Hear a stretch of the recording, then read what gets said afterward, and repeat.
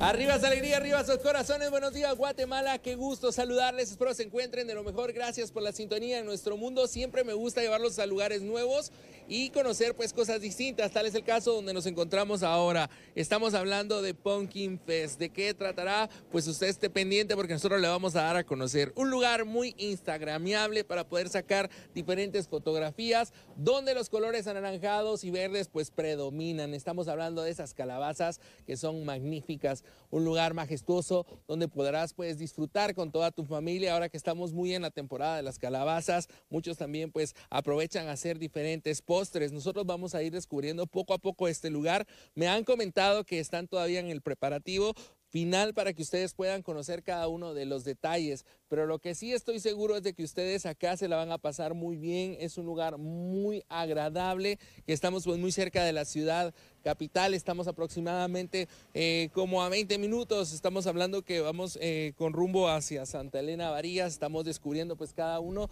de estos rincones y la verdad a mí me llama mucho la atención ver estos espacios abiertos, unos espacios grandes donde puedes pues respirar aire puro, puedes ver el verde de la naturaleza y sobre todo te puedes conectar con esta misma, conocer diferentes especies de plantas, porque vean, acá hay un vivero pues majestuoso, donde tú puedes ver eh, diferentes tipos para poder tener en tu jardín, y así que este mismo pues luzca como nunca, y tú te sientas pues muy contento de poder salir todas las mañanas a tu jardín y poder disfrutar de esto mismo. Ahora justo les voy a indicar dónde estamos exactamente para que ustedes pues presten mucha atención y así se puedan venir acá a disfrutar y sobre todo a pasar momentos agradables con toda su familia. Así que más o menos pues estamos nosotros ubicados en este momento.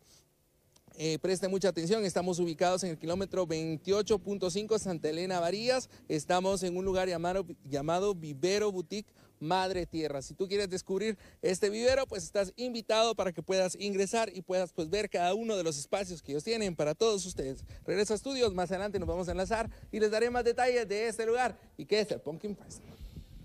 Qué bonito.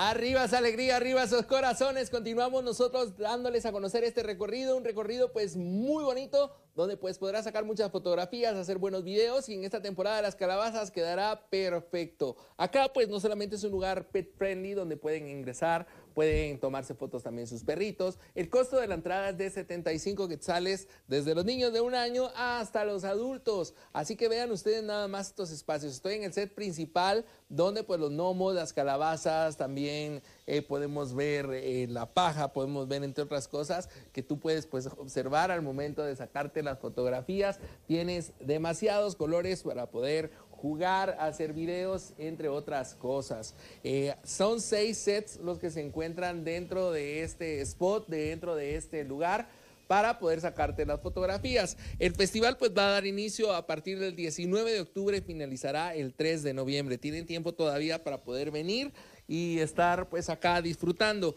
Eh, pueden también comer calabazas, pueden ver diferentes plantas, entre otras cosas. Nosotros pues vamos a salir para seguir dando esa vuelta y dando ese recorrido para que ustedes más o menos tengan ubicados dónde están los sets. Ellos están acá en Santa Elena Varías. Vean ustedes, acá se encuentra el segundo set donde pues ya te puedes sacar esa fotografía y puedes pues disfrutar con todas las personas. Eh, algo que quiero contarles es también que desde hace cuatro años pues la granja organiza eh, precisamente este festival es un rincón donde los colores vibrantes pues de la temporada se hacen presentes. Este año pues el festival realizará en el vivero diferentes actividades donde podrán pues también disfrutar de una deliciosa pizza, comer calabaza, entre otras cosas. Le recuerdo a usted las fechas, eh, precisamente hará inicio el 19 de octubre, finalizará el 3 de noviembre. Los horarios de apertura es a las 10 de la mañana y cerran a las 18 horas. Tómelo en cuenta, de 10 de la mañana a 6 de la tarde, pues ustedes pueden ingresar y pueden estar acá en este vivero, pasándosela muy bien, muy cerca de la ciudad capital. Una opción más para descubrir